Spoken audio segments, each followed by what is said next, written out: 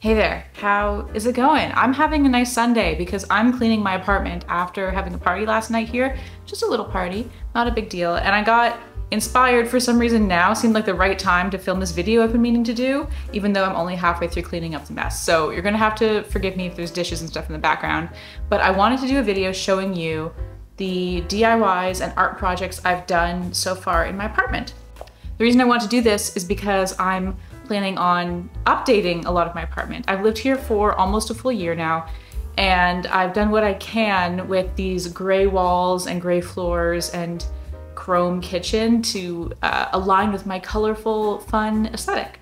But the time has come and I actually need to paint some walls and do like some bigger things. So I'm gonna do some videos about that later. I mentioned that in a vlog recently. But uh, in the meantime, I want to show you what I've done already. So I've done some small projects that were mostly like pretty affordable and just like making over pieces of furniture and stuff like that. So that's what I'm gonna show you today. And also a couple of big art pieces that I have around that um, just kind of add to my vibe. Does that sound cool? But let me give you a little tour around and just show you the pieces I want to feature and we'll just talk about it and I'll tell you what I did to make them. Not exactly like a DIY video because I've already DI'd the it why myself. DI myself, no?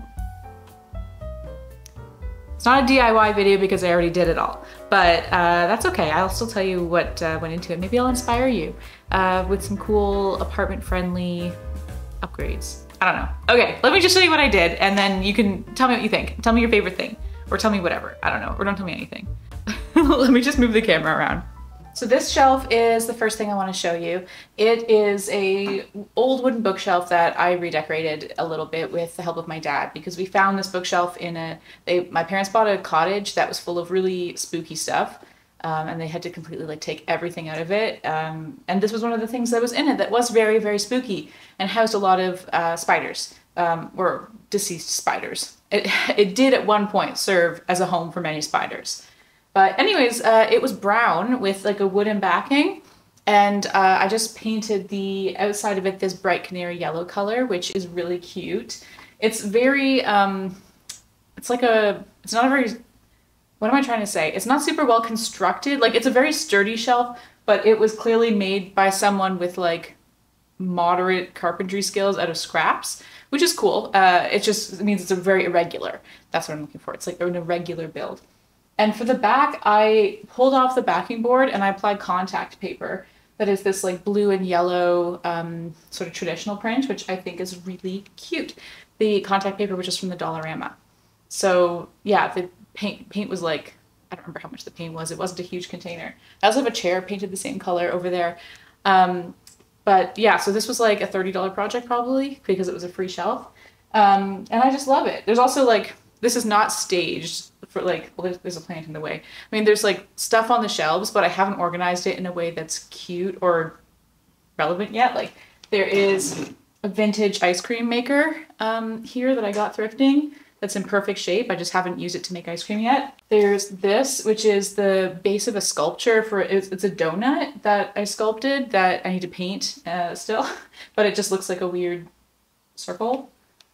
I have a pile of leaves, um, but they've been dipped in beeswax, so they're like, they smell really nice. They're like preserved leaves from last autumn. I don't know. I, I haven't organized this. So one of the things I want to do, like in my big DIY project makeover. I really want to focus on my office and my studio space for that, but um, the rest of my place can get some love too. So I'll, I'll make this look cute. I do have some teacups on it that were my grandma's, so I might do more of like a teacup station. Yeah. This is another thing that's really cool that I can't really get the right angle to show you. Wait, I'm just gonna pick it up.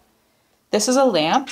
Um, I'm doing a really bad job of showing it off. This is a lamp that my brother helped me redo to look like a mushroom.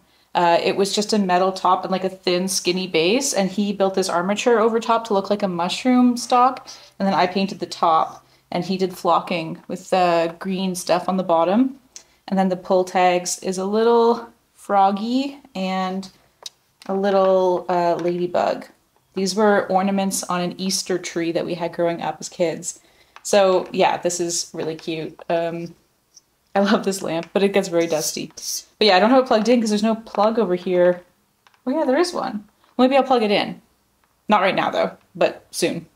Okay, this is where I have all my tea. Um, I painted this shelf purple so it would be cuter, which I think worked.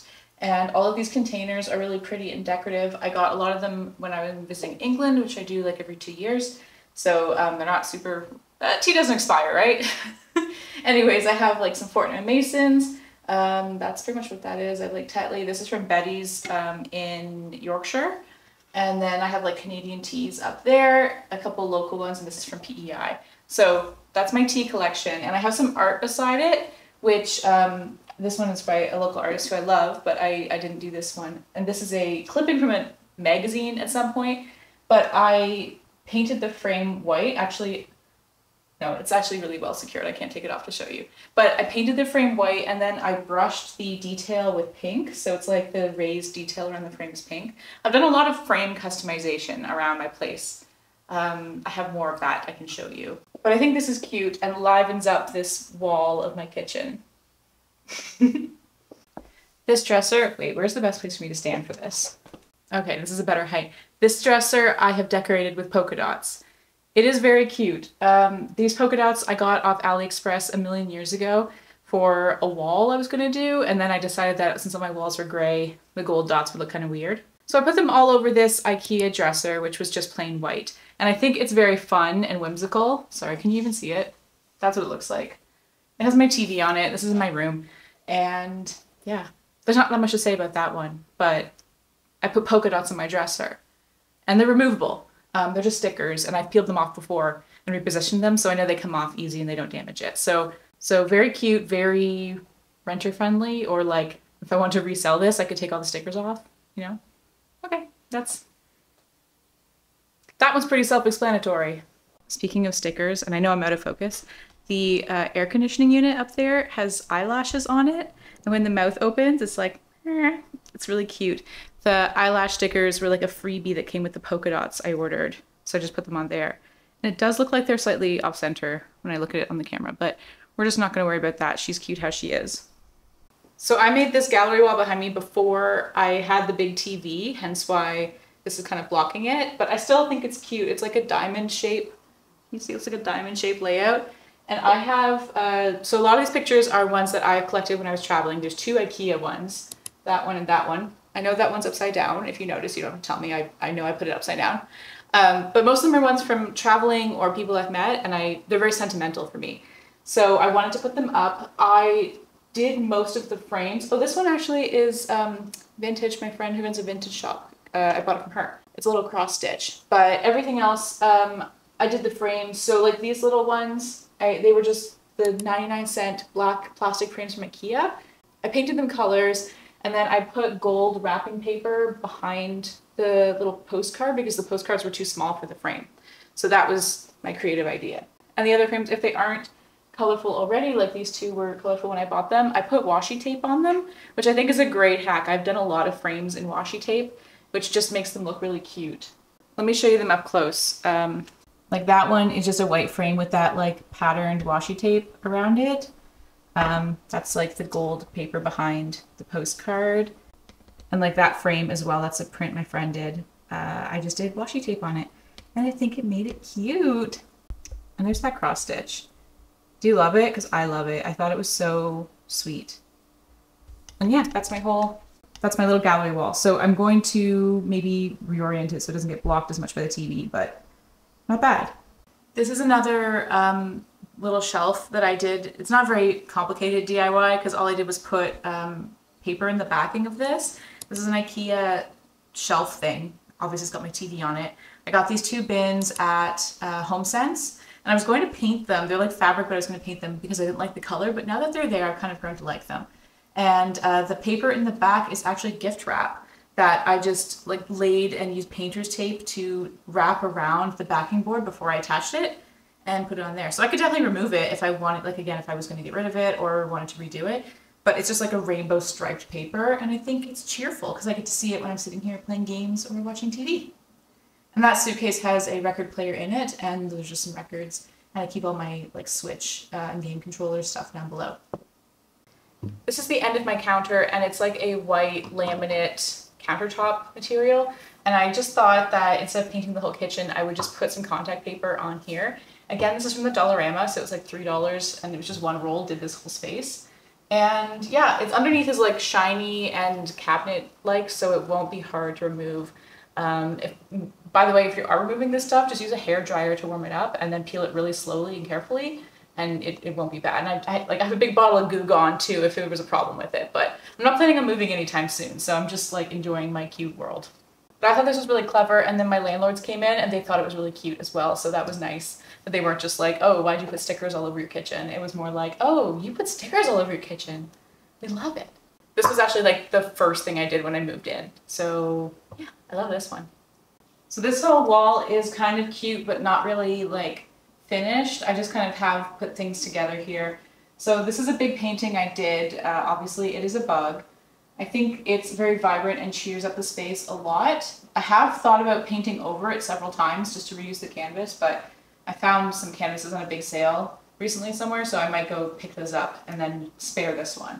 So um, I like my beetle. I also, this is a shelf I think I might paint. I'm not gonna paint like every wooden thing I own, but this is another one of those like pieces I saved from that spooky cottage. So it's not in great shape. Uh, it might be cute or pink, so TBD.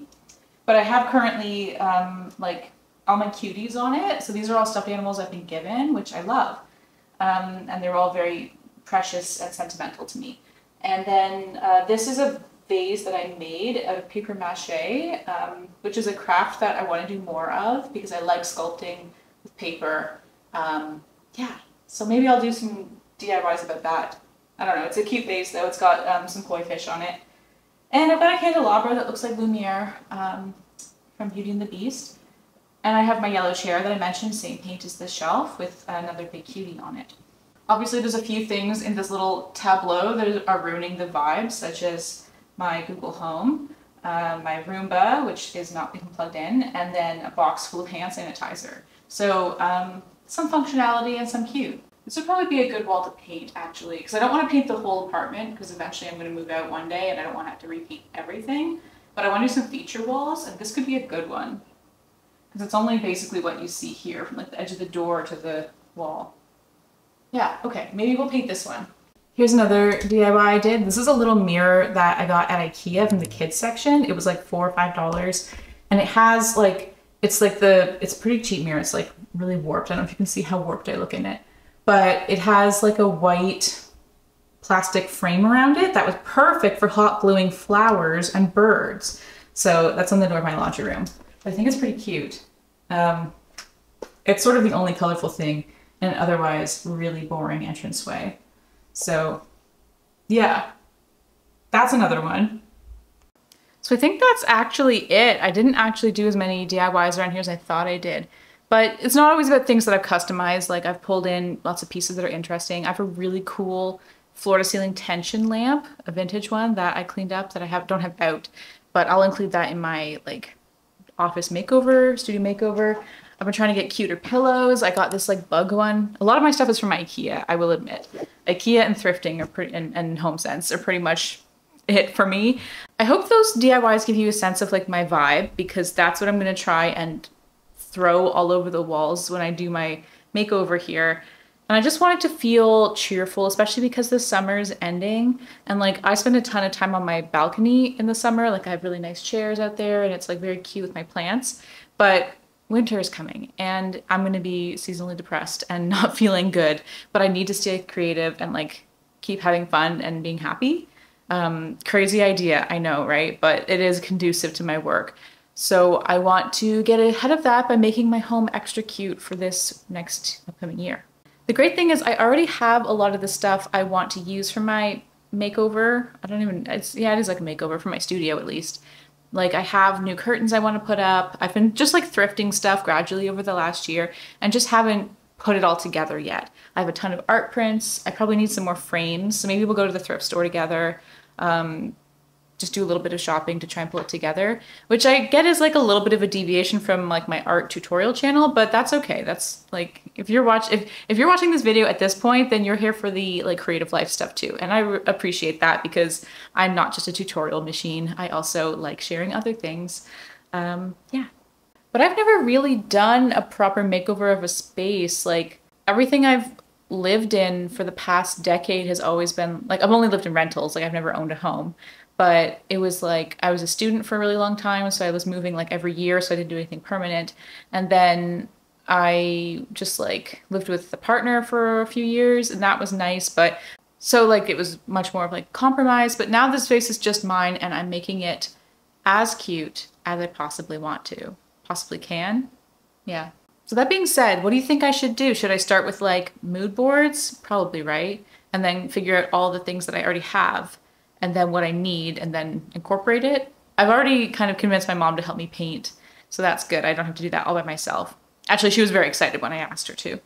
And I already have all the furniture I need. So, and there's no furniture being acquired. I say that, I may end up acquiring furniture, um, but I'm not planning on it. Like, I have this couch here. This is getting outside of the studio realm. I'm just basically talking to you like you like I was on the phone with you right now, um, blabbing about my plans. I love this couch. Um, it's really comfy. It fits my space. Um, it's great proportions and everything, but it's brown, and I don't want a big brown couch. But it's got kind of like a leaf pattern, so it's not terrible. But I would like to get a slip cover for it. I think that would help it like live longer because like you know, when I have people over, like we're all sitting on the couch and everything, I think it would increase the length of the survival of this couch and also make it look nicer. So maybe I'll be doing some slipcover stuff. I could try doing upholstery. My mom does upholstery, so I feel like I can just ask her. And I don't mind if I do a bad job if it's just my stuff. Maybe I'm getting ahead of myself. Anyways, thank you for watching this video with me and hanging out and looking at the DIYs I've done. Tell me what you think I did a really bad job or really good job on. Um, but be nice about it because um, I, I'm very tender. well, I better go finish cleaning up from the party. Uh, there's still some dishes and I see my mixer's out because I make cinnamon rolls when my friends come over for parties. Uh, we're watching like a pay-per-view. So it was like cinnamon rolls and snack platters because I like to be a nice host. But that does mean I have a million dishes and uh, leftover cinnamon rolls to deal with. So, you know, you win some, you lose some. All right, I hope you have a great day wherever you are. I hope your space is cute where you are. And if not, well, maybe we can live vicariously together and make mine cute. All right, cool, whatever. Bye!